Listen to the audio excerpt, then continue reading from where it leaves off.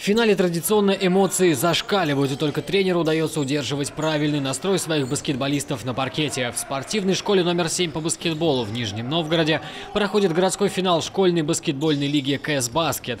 Это первый этап для учеников. Победа дает возможность поехать на следующий, на региональный. Городской этап КЭС-Баскет очень важная часть, потому что все наши все школьники нашей страны имеют возможность играть в соревнованиях под, под эгидой КС Баскета.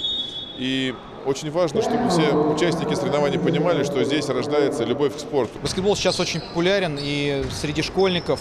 Э, соревнования проводятся уже много лет. С каждым годом они ярче, круче, интереснее. Третье место занимают команды Сормовского района и у девушек, и у юношей. Но все внимание приковано к двум играм за первое место. В финале у девчонок Автозаводский район одерживает победу над Канавинским со счетом 44-17.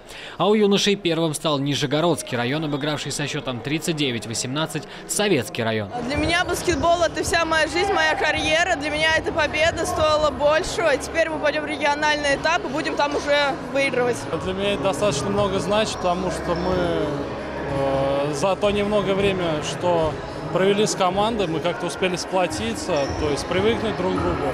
Мы сегодня играли э, очень командный баскетбол, и именно для меня это важно, то, что мы это сделали все вместе. По итогам турнира Александр Кулагов и Кристина Сулимова стали MVP своих финалов и получили награды от КС Баскета. В завершении финального этапа прошла церемония награждения победителей и призеров. Впереди у юных баскетболистов региональный этап соревнований, где будет решаться, кто поедет представлять Нижегородскую область. Артемий Катков и Валерий Шакуров. Время новостей.